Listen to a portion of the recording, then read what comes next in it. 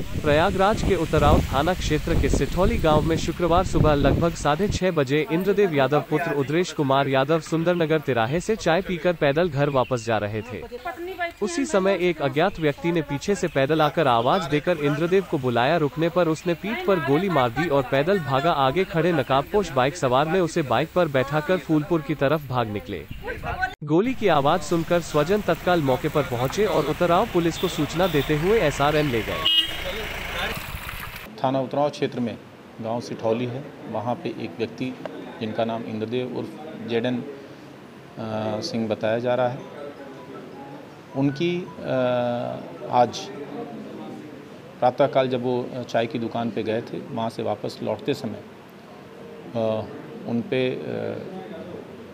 हमला किया गया, जिसमें उनको गोली लगी है।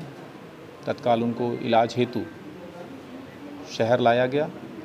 पहले मेडिकल कॉलेज, उसके उपरांत उनके परिजनों के रिक्वेस्ट पे निजी अस्पताल में उनका इलाज कराया जा रहा है।